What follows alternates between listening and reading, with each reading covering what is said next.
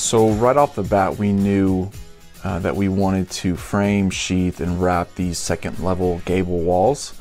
Uh, just because of once we got the walls in place, we didn't want to have to come back with ladder, scaffolding, or lift. This means they're going to be quite uh, a bit heavier, obviously, because you're adding way more material, and they were really big walls. So uh, what we did first is we, we framed the first one, and me and Elena kind of lifted just the frame by itself to see how heavy it was going to be and it was really heavy just us two lifting just the frame.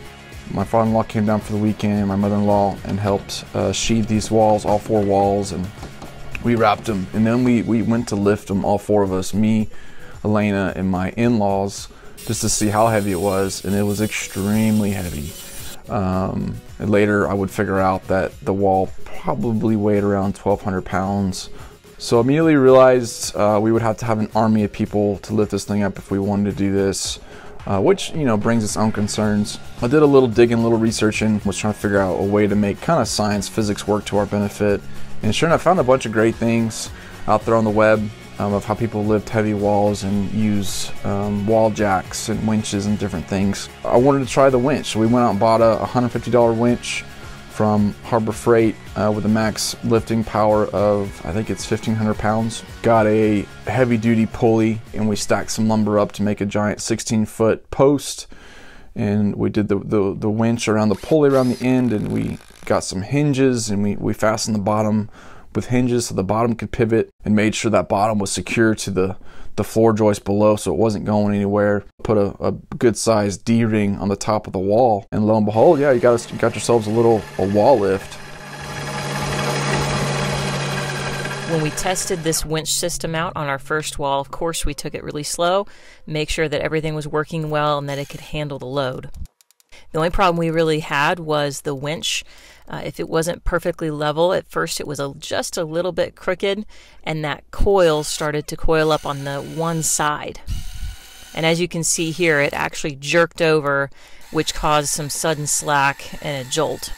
We also noticed that the frame was really bending and just given a slight buckle. So to reinforce that, we added some more 2x6s on that outside frame for when we were lifting it up to give it some extra strength.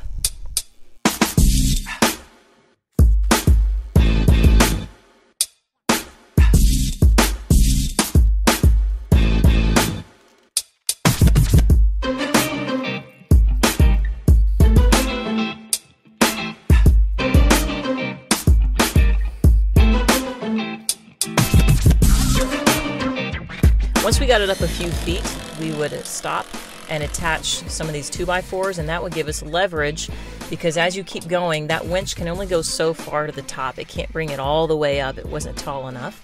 So you do have to push it that last couple, you know, feet to get it straight up and plumb. And if you're pushing from the bottom, which you essentially are because it's too tall, it just doesn't do any good. You have to push from that top angle. So these 2x4s gave us that high reach to be able to push it into place. We would lay down boards and screw them down so that when we needed to stop, we could either rest them there or go ahead and have them ready to attach them. So these also worked as our supports.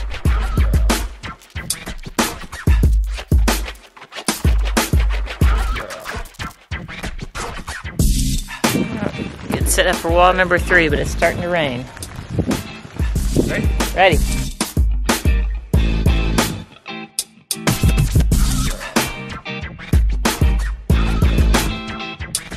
Once we got it all the way pushed up, then we would try to get it to that very edge. As we pulled it up, we didn't have it right on the edge just in case, just to give us a little safety room.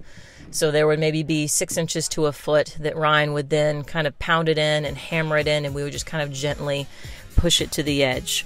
And then we'd kind of level as we went. He would hold, I would level, we'd push it to where it was just right level and plumb and get it all angled right, and then he would secure it down.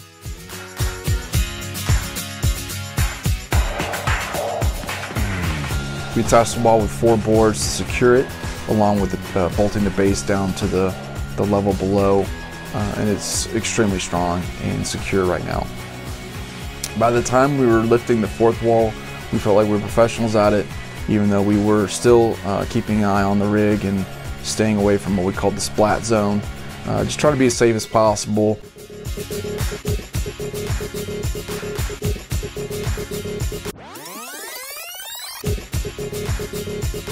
Uh, but yeah, we really managed to lift these four walls up, uh, just me and Elena. You know, we didn't have to exert too much energy uh, or do any kind of back breaking lifting. It was really just the, the final push to get it straight and plumb.